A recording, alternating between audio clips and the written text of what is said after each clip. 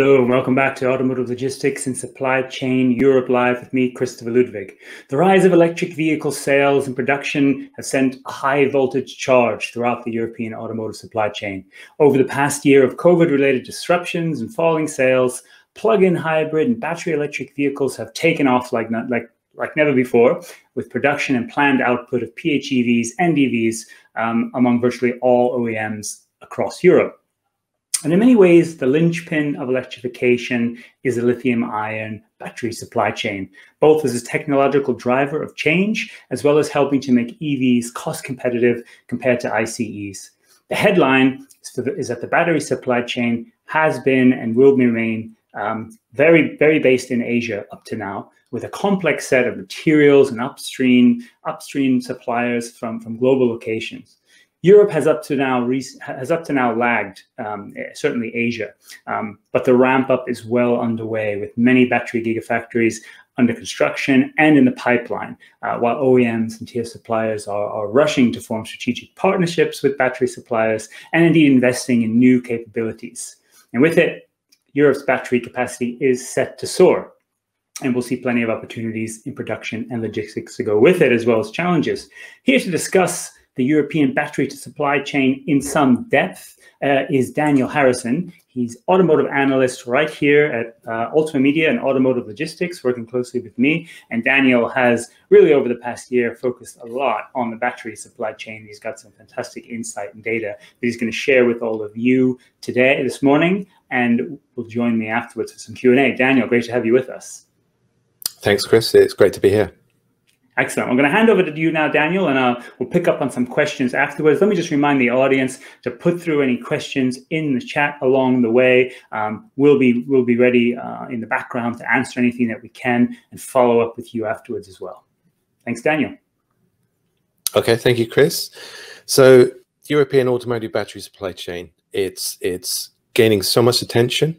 The question is, why is it gaining that attention? Uh, why is it so important? Well, the electrification of the EU vehicle fleet will require such a massive expansion of battery cell production. And this is potentially going to completely redraw the map for the auto European automotive supply chain. Because essentially what's going to happen is you're going to replace the legacy ICE supply chain with a completely new supply chain of new companies, new structures, new technologies. So just to give you a sense of the scale of this, this seismic shift, uh, let's assume 50% of e EU sales are EVs in 2030. Um, this creates a supply chain worth around 50 billion euros a year. Not surprisingly, this is getting a lot of interest from, from industry, investors, new entrants, and also governments alike because they want to capture this, this economic uh, uh, miracle essentially for for their countries.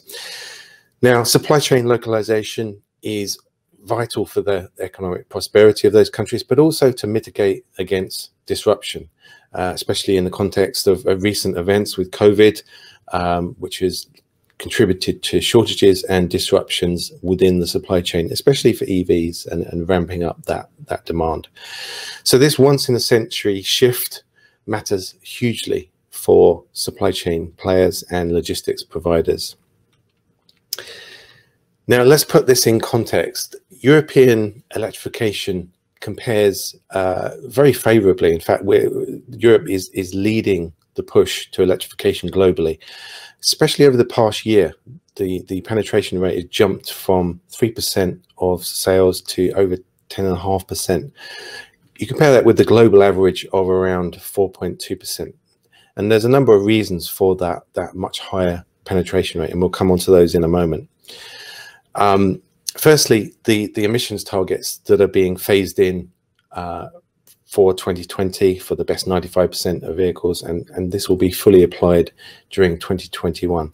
And that's a very tough target for, for OEMs to, to meet. And because of that, OEMs have increased significantly the number of electric vehicles and plug-in electric vehicles available on the market. And most, of course, most countries already incentivize EVs and PHEVs through subsidies, taxation, low emission zones, etc.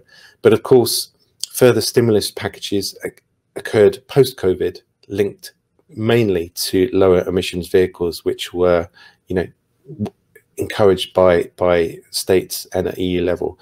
So most European countries are also planning to to ban sales of internal combustion engine vehicles from 2030 to 2035. Now, that, let's remember that's only two product cycles away. So this is, you know, very very imminent. The key point here is that this strong regulatory push will make EVs and battery demand almost a certainty. Um, there are also some some geographic and cultural differences for Europe. The shorter, relatively shorter distance make EV range and the the accompanying range anxiety less of an issue, and the charging infrastructure uh, is more developed, especially in the Netherlands, Germany, France, UK, and Norway. And the population is mostly city based, which makes EVs more suitable. And historically, fuel prices have been taxed more heavily, which makes the relative cost of running an, an ICE internal combustion engine vehicle versus an EV more favorable for EVs, which are much cheaper to run. So the European Union aims to capture the battery supply chain. And there's a number of strategic and economic reasons for that. Let, us remember that the, the EV battery can be as much as 30 to 40% of the value of the vehicle. And currently, most of that is imported from, from Asia. So if the EU does nothing, the EU, uh, the, the Asia will, will benefit hugely from that, and EU will miss that, that slice of the pie of the automotive industry. But of course, Europe cannot compete directly on price with lower cost Asian imports. So the European Commission has, has developed a number of strategies to, to boost the European battery supply chain. So they've given 2.9 billion in subsidies, uh, which is in addition to 3.2 billion that, that gave in two, 2019.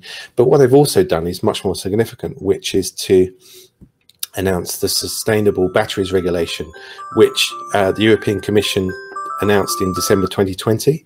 And this is a mandatory requirement on the part of part of the European Green Deal initiative, which means that from July 2024, cathodes, anodes, and chemicals must be sourced from within the EU, and batteries must have a carbon footprint declaration to be placed within the European market. So from 2027, the target's even tougher. Uh, that requires 100% of the battery components uh, and raw materials to be sourced from the EU effectively forcing localization of that battery supply chain to Europe. So let's put the, the lithium battery supply chain in the global context. So global battery production um, capacity is currently around 450 gigawatt hours globally, and we forecast that to grow around sevenfold to over 2,800 gigawatt hours by 2030. Now, as, as many people have observed, Asia Pacific currently dominates that, that picture with around 77% of global capacity. But European capacity is currently around 60 gigawatt hours, around 13%, but we forecast that to grow to around 950 gigawatt hours in 2030, growing in relative market share to 33%. So Europe, of all of the regions, will actually experience the fastest of the, the, the growth around the world, expanding by around 16 times by 2030.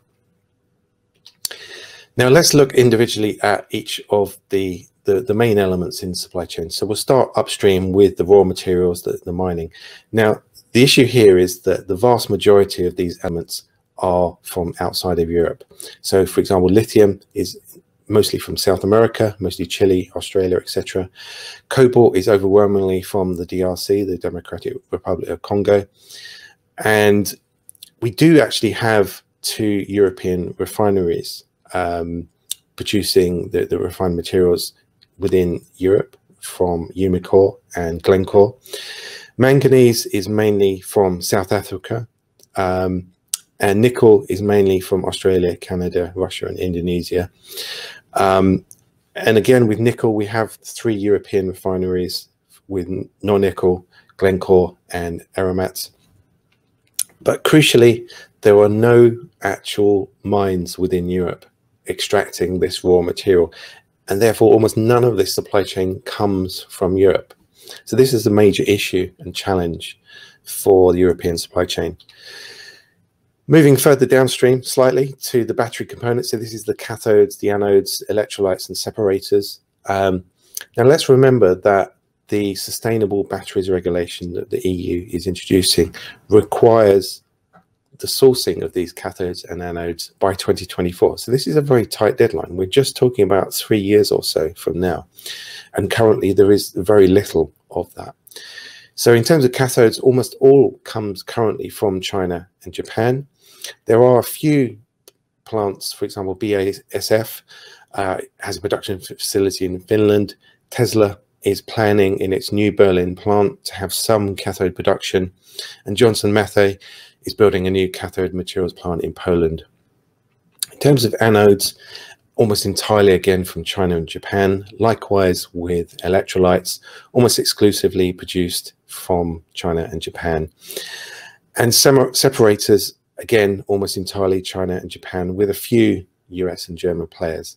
But nonetheless, again, Asia dominates this part of the supply chain almost more than any other. Um, so battery components is going to be a major challenging in building Europeans' localized supply chain. So in terms of the actual battery cell plants, uh, just 11 of the world's 118 battery cell manufacturing plants are in Europe. And this accounts to capacity of around 60 gigawatt hours or 13% of global battery cell production. Now it's LG Energy Solutions Wrocław, Poland plant, which dominates with capacity of 75 uh, percent of European capacity, which is 45 gigawatt hours. So that's very dominant. Apart from that, there's relatively small number of, of smaller plants in Europe. So there needs to be a massive expansion to, to meet demand there. So as you can see from the map, uh, the, again, LG's uh, Wrocław Poland plant dominates the, the, the, landscape. And you can see a conglomeration there of plants around um, Germany, Poland, Austria, Hungary. It seems to be the main focus, and we'll come on to that in, in the questions and answers. Uh, but fundamentally, Europe needs much more gigafactories, around 16 times the, the quantity in terms of capacity by 2030. There are, of course, around 32 battery plants currently being planned or under construction. And recently at VW's Power Day, they announced plans for a total of six plants with a total capacity of 240 gigawatt hours by 2030. Um, by, and that pretty much confirms our forecast of an overall picture for Europe of around 950 gigawatt hours by 2030. But it also demonstrates how OEMs are taking increasing ownership of the battery supply chain. Now, the next step in the supply chain is is often overlooked, which is the the the battery pack assembly plants or the battery integration process. So this is where you combine the raw cells, a bit like the AA batteries that, that everyone knows as consumer batteries, into the modules and the packs that are then added to the battery management system, the BMS, and the thermal systems, which control the temperature of the battery, and the, the, battery pack and the casing itself, which makes it safe and secure. And most of these battery plants are intentionally placed quite close to the vehicle assembly lines, part for weight reasons. It's very heavy and difficult to ship these batteries over long distances, but also more crucially to allow OEMs to keep a tighter control of this stage of the supply chain. OEMs can actually achieve a significant competitive advantage from this part of the process because this is the, the, where the value add comes on. If you take a raw cell, the way that you pack that together, the type of battery management system software, the thermal systems you use to cool it, can have a significant effect on the, the performance of that complete battery pack. And this often, this process of battery pack assembly is often con conducted as joint ventures so that OEMs can also leverage the expertise of the cell suppliers in that process. The next stage, of course, is the OEM EV assembly plants themselves, um, where the battery is integrated with the vehicle. And currently there's around 59 European plants that we're aware of producing pure EVs. Um, but of course, we're expecting a, a significant ramp up in in EV volumes, particularly with Tesla in with its new plant in Berlin, and VW primarily with the ID3 and the ID4 SUV that's coming out soon. And of course, OEM assembly plants are generally located um, close to the battery supply chain, and that's that's a crucial aspect to understand too. The, the final step in the chain is often overlooked in terms of recycling, reusing, repurposing batteries because at the end of their life that they don't just go into landfill they can be used for static storage application load leveling uh, for utilities etc and this closed loop concept is increasingly important as uh, the first generation of ev batteries um, start to to come out of service but it's a very highly fragmented industry unsurprisingly china again dominates this part of the supply chain with over two thirds of capacity. South Korea about one sixth of it. However, there are a few plants within the EU. But crucially, again, the EU has regulated that all industrial and automotive batteries must be collected and recycled by 2030. So what this all means is that this once in a century transition to electrification will form a new ecosystem of suppliers and this creates many opportunities for new collaborations, partnerships, joint ventures, alliance, etc. Of course, the major suppliers such as LG, CATL, Panasonic, and SK Innovation will will dominate. But nonetheless, the the niches for smaller startups, for example, AMTE Power specializes in higher power applications for high performance vehicles, for example. They can't compete on volume or price with the big players like LG and Panasonic. But for niche applications, they can tailor the, the chemistry of the battery and the way the pack is put together to to optimize it for those specific applications. And leading OEMs are trying to capture and control much more of the value chain. For example, it's noted that VW recently announced it's going to buy out its its 50-50 share, I think, of a planned joint venture plant in Germany. Tesla is also stating that it's developing its own cells in-house uh, in a complementary way to its other agreements with Panasonic and CATL and LG Chem in, in Asia. And their new Berlin plant will also have some cathode production, and there are also potential moves upstream into lithium extraction itself. So the battery supply chain is essentially uh, where there's a huge competitive advantage to be had. Um, it creates enormous opportunities. For example, we've seen recently a supply shortage of batteries pre and post COVID, which has created longer waiting times for EVs in particular. The tripling of EV and PHEV sales in Europe over the past year clearly required a very strong, flexible an adaptable supply chain to capitalize on that that increase in demand. And we saw ongoing supply chain disruption, of course, not just in batteries, but semiconductors, container shipping, and, and raw materials as well. So this highlights the key importance of supply chain localization in that context of disruption. Of course, many, many uh, investments are being made into gigafactories across Europe, although much more needs to be uh, developed, as we've stated. But it's very much the upstream, the raw materials of, of lithium, manganese, nickel, cobalt, etc., but also the battery component parts of the supply chain, which remain the real challenge for developing the European battery supply chain. Thank you very much. So I'll hand you back to, to Chris. Thank you. Thanks very much, Daniel. And uh, you know how much I, uh, I, I enjoy talking about the battery supply chain with you, um, filling much of our days and our focus and stuff. But uh, that that that was another great great overview and insight of all that's going on. Uh, you know, with the global context and clearly some of the opportunities and challenges ahead uh, for, for OEM suppliers and battery makers here in Europe. Let's start with that upstream challenge that you you highlighted. You know, how feasible is it really that, that European manufacturers and suppliers um, could localize more of the upstream the anodes, cathodes, etc., um, from a cost and scale point of view?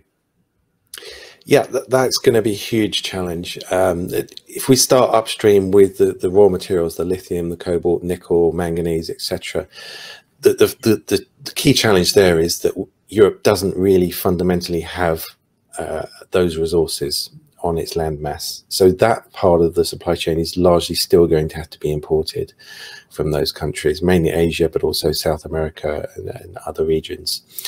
Uh, if we go down to the sort of the, the, battery components, so the cathodes, the anodes, the separators, the electrolytes, that's more feasible uh, to, to localize in Europe. Um, and there are some moves to do that, as I identified uh, in, in the presentation. Um, you know, Tesla's partly doing it, BASF as well are starting to move in that. But it's at a very low level compared to the demand that's, that's required. It's also very specialized, um, those sort of operations to to produce cathodes and, and anodes and it takes a lot of experience. So to to meet the demand or, or rather the, the the expectation that the eu has to have complete sourcing of those upstream parts of the supply chain by 2024 is a very tall order and, and i think it's widely regarded in industry that that's going to be impossible to meet in such a short timeline. So, so there's obviously the, the arguable geopolitical, geoeconomic factors which are which are playing a role in there. But to what extent, from a sort of you know total business cost point of view, how important will will that will some element of that regionalization be, depending on how deep we're talking here, be to bringing down the cost of of batteries and therefore making you know making sure that EVs continue to compete or compete more on, on total cost of ownership, you know through the through the supply chain and value chain. Yes, uh, the, the cost is is uh, critically uh, linked with localizing of supply chain. We know, for example, that um, a major part of the battery cost is shipping it from from Asia. All of the logistical complications in doing that, uh, the supply chain disruption. But from a cost perspective, what I see happening is you know, typically battery prices are sort of in the around $150 to 180 dollars per kilowatt hour currently, and we're we're hoping to move down to the sort of the the, the tipping point where it's hundred dollars per kilowatt hour. And as that cost goes down, the shipping cost becomes more prohibitive for that battery. Therefore, it makes more sense to localize it as that cost comes down. Um, so I think that's that's a major issue that's going to happen. Um, and of course, to, to bring the cost of batteries down, you need huge economies of scale, not lots of small plants, but perhaps fewer very large gigafactories, such as LG Chem's or LG Energy Solutions plant in uh, Poland is a good example of that. Um, so that to me is is the, the key here, the economies of scale, localization to bring down the battery price to a level that will make EVs more widespread and affordable for consumers. That's an interesting point uh, on the scale side, because of course what we see right now is, um, again, when we look at the pipeline, and, and, your research brings out a lot of that, quite a mix. Obviously, there's the established players, LG Energy, LG Energy Solutions, SKI, uh, CATL, etc., investing and, and bringing production to Europe. Car makers like Volkswagen and Tesla, but then a long tail, if you like, of startups, new players, emerging players, and other others from China as well that maybe are new to who stands to sort of win this race from your point of view? I mean, is there is there room in the battery pie to go around for all, so to speak, or do you think it will be more of somewhat more of a winner take all scenario? That's a really good question. I think, in in essence, what's going to happen is is a is, is a technological race here because batteries are not commoditized, and that's a key point to understand because you know, a battery from from LG or a battery from CATL or Panasonic is not the same as a battery from a startup. So the, the, these ambitious startup plants, um, you know, for example, Britishvolt, uh, or Italvolt or Northvolt, are relatively new players in, in, in the field. That's all great, and the ambition's great. The issue is going to be, can they produce cells with the same cost performance ratio as CATL or Panasonic and LG, who have been in the game for much longer. My feeling is some of those plants will succeed, and yes, there, there's certainly a big enough pie for everyone to, to succeed. But some of it might be scaled back because the bigger players will probably have more technological breakthroughs to gain advantage. So it will come down to a situation where OEMs are saying, okay, who do we want to supply us? Who's going to give us the best range, the best charging time, the best performance? And some of those startups may not be able to compete on a, on a level playing field in that sense. They may be able to supply, a, a, a, you know, at low levels to smaller volumes, perhaps. But if you're looking at, you know, the big, big OEMs like VW and Stellantis, they're going to want to be sourced from the best batteries they can possibly get. So it's going to be those big suppliers.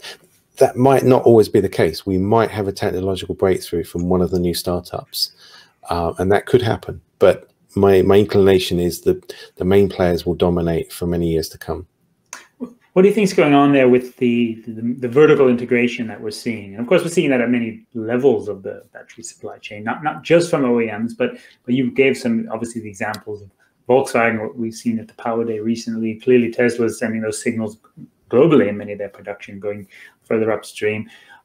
In an industry, or let's say a sector with the EVs, which is so capital intensive and therefore and effectively such a so risk, why, why are the OEMs now, some OEMs at least, putting yet more capital into into this part of the supply chain. Hmm. Yes, I mean this is essentially again a, a, technical technological question. They're trying to gain technological advantage over their competitors. So, for example, with VW and Tesla, they they're wanting to capture more of the upstream supply chain so that they in part because they want to capture the, the economic value. There's a hugely valuable part of the pie. Um, you know, Tesla doesn't want to import batteries from, from Panasonic and LG Chem all the time when that's 40% of the value of the vehicle, when they could be partly capturing that supply chain themselves. But the, the key point here is by gaining more control over the supply chain, getting more involved in the technology, the R&D, the development of batteries, they can gain competitive advantage. And we see that with Tesla. They want to uh, actually getting heavily involved in the cathode production and even the lithium mining so that they they can develop a battery which is slightly better than their competitors and therefore consumers will ultimately see that in the specification and buy those those vehicles. And that's ultimately i think what this is about. Absolutely. Yeah you highlighted the regulations that we're seeing in the european um, from the european union and some member states. Um, i think you also made some reference to some to some uh, some public funds some investment coming and we see that not just in the EU but also in the UK um, and, and other other parts of Europe at, at various levels. How important will the will will state money in effect will public investment be in developing this this supply chain in Europe? Um, not least given you know state aid rules in this in the single market that that might limit you know just how much some some some investment could be, how high it could be. Yeah, so that's a great point and and hotly debated. Um, we know that the European Union has provided, I think, uh, over six billion euros in in recent funding to support the European battery supply chain, and uh, yet at the same time there are quite strict rules on on state aid for, you know, giving a, an unfair advantage to a particular company or set of companies over another, and we know, for example, that LG with its Wrocław, Poland plant is currently being investigated for state aid that it, it received towards that plant. So this is a very um, uh, difficult area because on the one hand, European Union desperately wants to capture the, the battery supply chain and, and give um, you know help and support to, to developing those those private companies ultimately to to develop the supply chain. But on the other hand, it's it's it's his hands are tied in terms of state aid. So what seems to be happening is that this kind of state aid is being allowed because it's for the common good, a high good. You know, the, the capturing of this supply chain is so strategically important, so economically important that they're they're allowing this. But this case, ongoing case with LG in Poland is interesting to watch. But I think for now we're going to see uh, continued state aid to support that overarching aim of, of developing the European battery supply chain. Indeed. So, Daniel, maybe we're running low on time, but I have room for probably, I think, one more question at least here. Um, a bit earlier, you just mentioned battery supply chain. Batteries uh, are a competitive advantage and therefore so this is the supply chain. Um, do you expect that to remain the case as OEMs electrify more widely, um, as in effect the technology, perhaps the barriers to entry lower to some extent? Um, is it is it competitive for now, or or is it likely to remain a hot, hotly competitive issue? You know, well into the next stages of electrification. I, I think it will remain uh, a competitive advantage for a considerable time, primarily because batteries are not commoditized. There are differences in performance, in characteristics, in range, in charging time, for example. And you know, as as the technological arms race continues and, and volumes are ramped up, the the ability of that supply chain to meet that demand, to meet that technological development and growth in in the performance of of batteries will remain central. Um, I, I, think in, in the medium to longer term, I don't see batteries becoming commoditized yet. There's there's always going to be new technology just around the corner, whether it's lithium sulfur, whether it's even solid state batteries. Um, so that that that arms race will continue, and that competitive advantage of a flexible, um, adaptable supply chain that can respond to disruption that can respond to surges in demand, such as we've seen in the year of the last year where sales have tripled, that will always remain critical. So that, that supply chain resilience, that, that, that flexibility will always remain key for me.